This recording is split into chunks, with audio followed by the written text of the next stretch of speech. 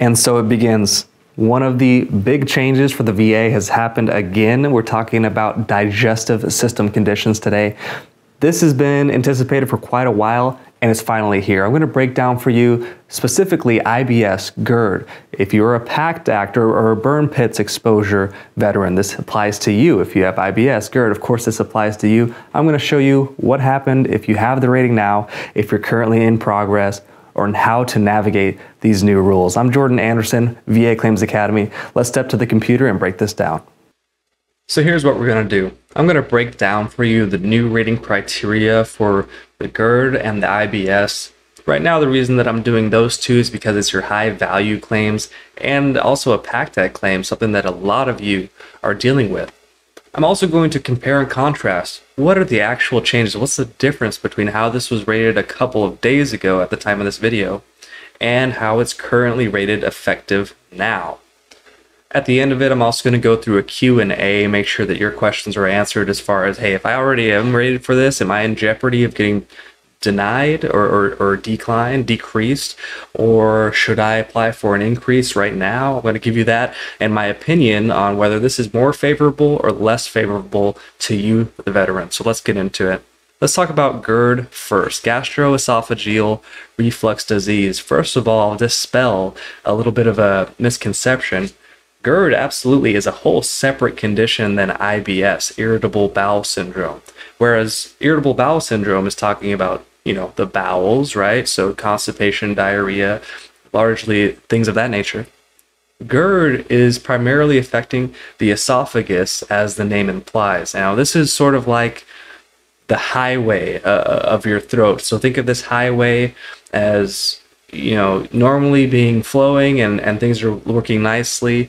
Well, GERD is like a traffic jam of that highway. And this traffic jam could cause damage ultimately to this road, in this case, your esophagus. The new rating criteria is focused now on how severe that damage to the road is.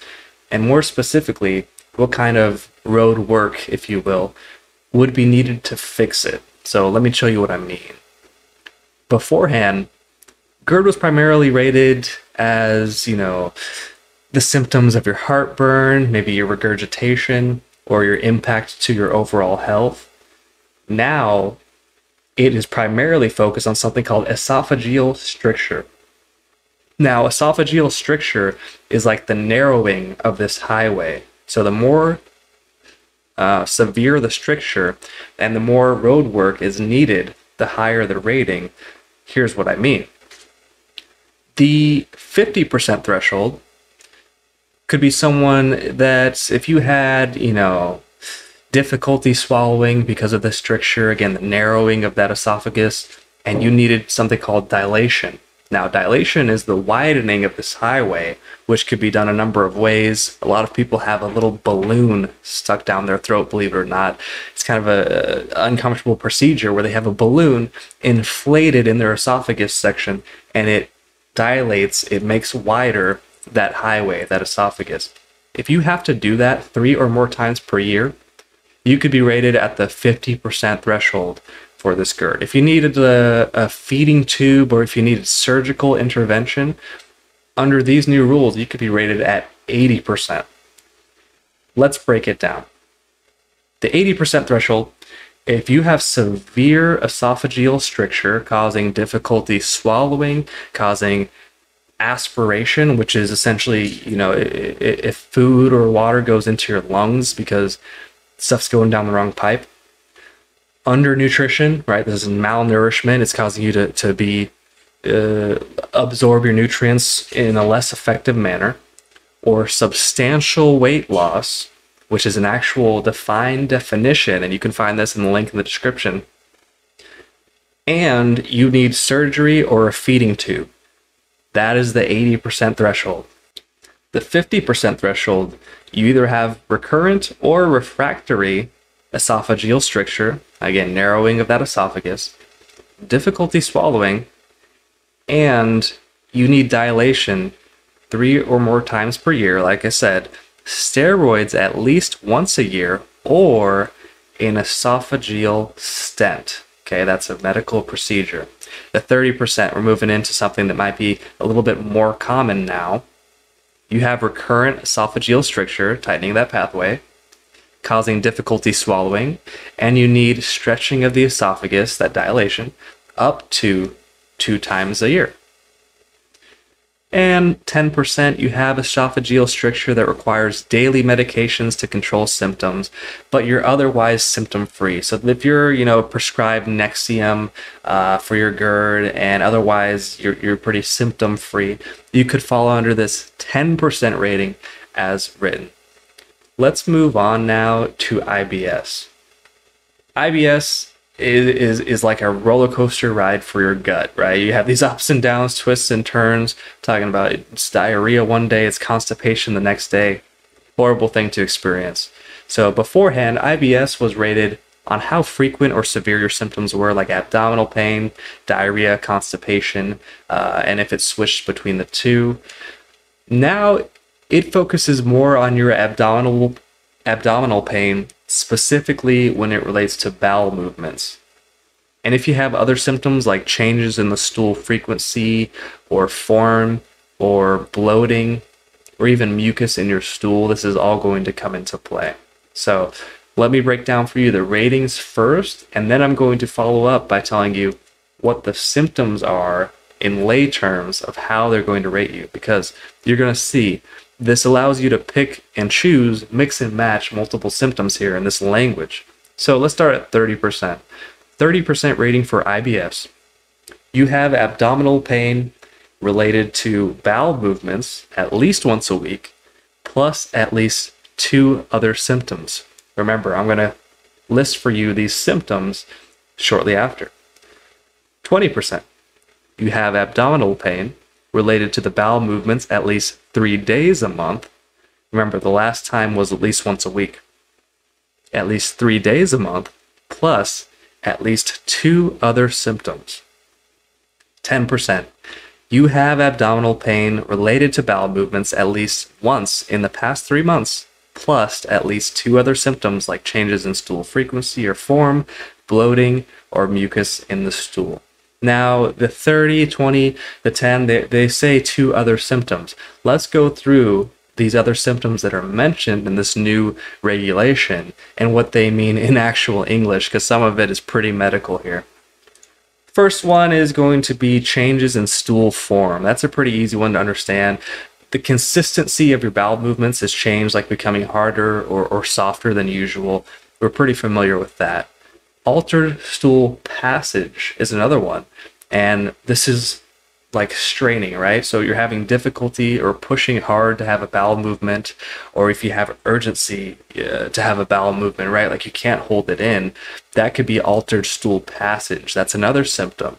Remember, you need to match two of these in conjunction with some of these other criteria in this new language.